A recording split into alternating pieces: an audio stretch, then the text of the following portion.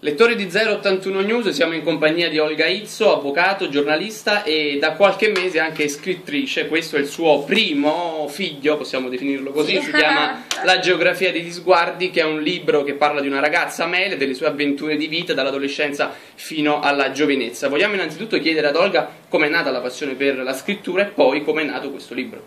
Allora, la passione per la scrittura è una cosa che ho da sempre, che tra l'altro mi accompagna in tutti gli ambiti di vita, perché per quanto io insomma sia un avvocato, comunque il mood della mia vita è sempre un po' scrivere, no? Ma dal punto di vista giuridico, dal punto di vista letterario non cambia molto, una, la penna insomma è il mio strumento.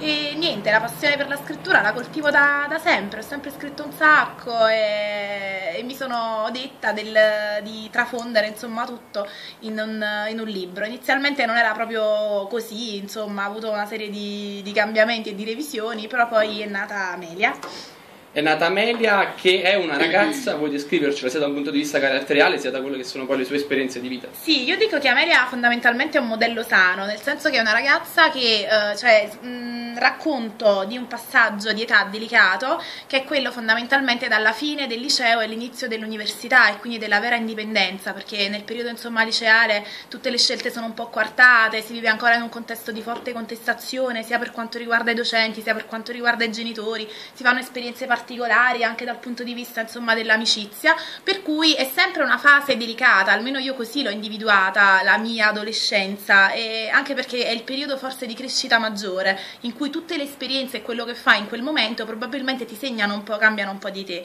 E quindi nasce come una ragazza fondamentalmente introspettiva ma che poi si apre al mondo in tutte le sue sfaccettature coltivando una serie di passioni che diventeranno poi un po' quello che forse lei decide di fare da grande quindi un sottile fil rouge in articolato sul ricordo e soltanto leggendo tutto il libro, soltanto alla fine forse si comprende tutto il, mm, tutto il percorso che c'è dall'inizio. Quanto c'è di Olga Izzo in Amelia?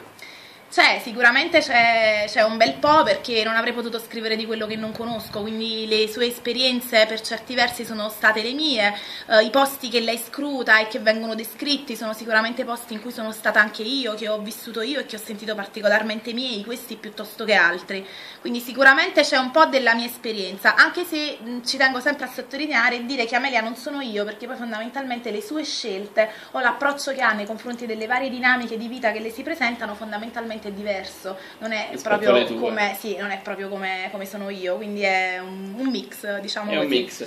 Quando hai capito che questo libro non era più un gioco, ma era un libro che poteva essere poi anche pubblicato. Cioè, tu quando hai iniziato a scrivere questo libro pensavi di pubblicarlo un giorno oppure no. hai detto lo scrivo, poi lo rilego tra no, dieci anni? Infatti, ho cominciato a scrivere tutta una serie di pezzi. Cioè, questo libro è in realtà un collage di tanti pezzi scritti in posti del mondo diversi, in momenti diversi della vita.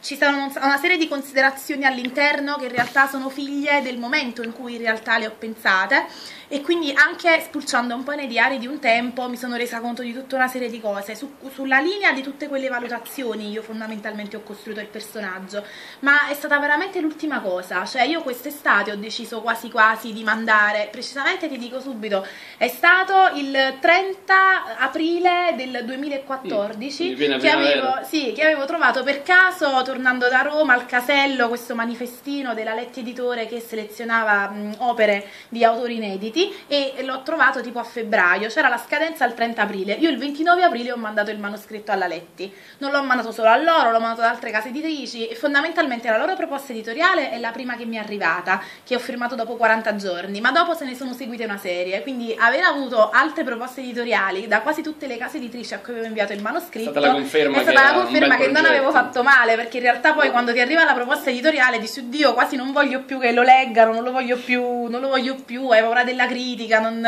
preferisco che rimanga Poi nel cassetto. Poi hai scelto di metterti in discussione, quindi recentemente sì. lo hai finito, quando hai iniziato a scrivere? Ti ricordi il primo Sì, ho primo cominciato foglio? sicuramente no, nel 2011, questo mm. è un progetto cominciato nel 2011 che poi è stato discontinuo, ci sono stati giorni che ho scritto di più, giorni che ho scritto di meno, proprio sono andata a periodi e sei molto morale, molto Episodi della tua vita di questi quattro anni hanno segnato magari anche la trama di questo libro, che magari pensavi di scrivere una cosa, poi magari hai scelto di scriverne un'altra? Guarda, più che la trama sono serviti fondamentalmente per farmi guardare con gli occhi da adulta, quindi è un romanzo diciamo di una di un adolescente però scritto da una trentenne. Quindi mm. sono riuscita a criticizzare maggiormente una serie di cose che a quell'età penso siano dinamiche comuni a tutti. Io a volte dico che Amelia è una qualunque sono sta rimproverata qualcuno mi ha detto che non devo dire qualunque perché è una brutta parola insomma è come se la banalizzassi. Non la voglio banalizzare assolutamente ma è un modo per dire che ci sono delle dinamiche che credo siano un po' comuni a tutti i giovani in quella fascia di età e, e, e l'ho capito adesso cioè l'ho capito da grande per cui io ho fatto un viaggio indietro nella memoria memoria del, del mio tempo e sicuramente adesso gli occhi di adesso e la maturità di adesso mi hanno permesso di criticizzare in maniera diversa Cosa che facevi fu. anche tu da eh più piccolo. Sì, e eh la sì. geografia degli sguardi è un titolo molto particolare. Perché hai scelto proprio questo? Perché la geografia degli sguardi che si perde nel tempo è la geografia degli sguardi delle persone che si perde nella geografia dei luoghi, perché incontriamo tantissime persone, tantissimi sguardi, in particolare c'è qualche aneddoto particolare, un romanzo sul ricordo, cioè Amelia eh, ricorda un po' di persone che l'hanno attraversata in momenti diversi della vita e in posti diversi. E quindi mi piaceva sottolineare che in luoghi diversi eh, della memoria mh, mm, si incontrano degli sguardi che si perde un po' nella geografia sia del tempo che dei luoghi, quindi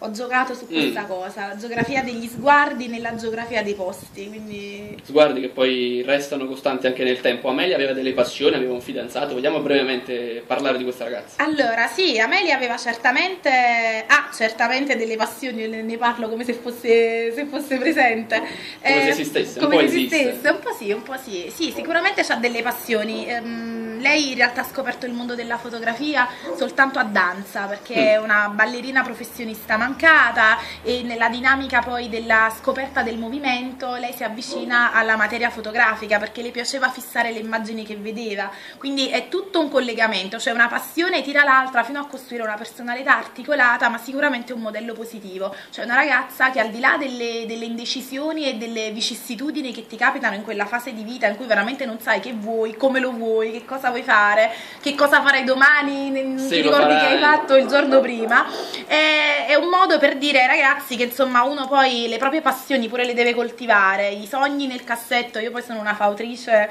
insomma di questa cosa, possono anche essere soltanto sogni, possono anche non diventare la tua ragione di vita o il tuo mestiere, però io sono una che col suo mestiere si finanzia l'arte ed è una cosa che mi piace assai, quindi per quanto sia innamorata comunque della professione legale, perché ci sono delle cose che mi piacciono molto, altre che mi piacciono di meno, l'animo poi artistico è sempre quello più preponderante, quindi dico quello mi serve per quello ed è un po' quello che emerge forse Succede anche da, da, Amelia, sì, sì, sì, sì, sì. Olga, in chiusura, prossimi appuntamenti per questo libro e se magari se c'è in qualche cassetto qualche appunto che presto potrebbe essere messo insieme per un altro libro. Ora è troppo presto per pensare a un altro libro, sto ancora promuovendo questo. Uh, sicuramente il 7 marzo vi aspetto tutti all'ex carcere mandamentale di Nola, perché in occasione del mese sulle donne abbiamo organizzato con l'assessore alla cultura che mi ha concesso questo privilegio di, uh, di organizzare una piccola presentazione del libro all'interno del carcere, tra l'altro abbinata a una mostra fotografica relativa alle donne, ai volti delle donne nel mondo, quindi è particolarmente inerente praticamente con la tematica del libro, uh, nonché a una degustazione di di vini con i nomi delle donne perché mh, mm, ci piace, insomma, ci è piaciuto concertare eh, tutta la dinamica donna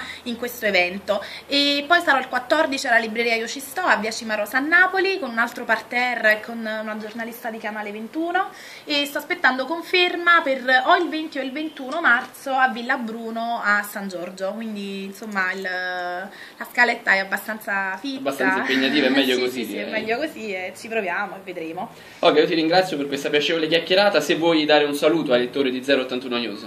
Ragazzi, io vi saluto, leggete il mio libro, magari vi piace, magari no, aspetto le, i commentini e se mettete il like alla pagina su Facebook, alla geografia degli sguardi, riuscirete ad essere aggiornati su tutti gli eventi e tutto quello che riguarda il libro, da pezzi del libro, fotografie, book trailer, eccetera, eccetera.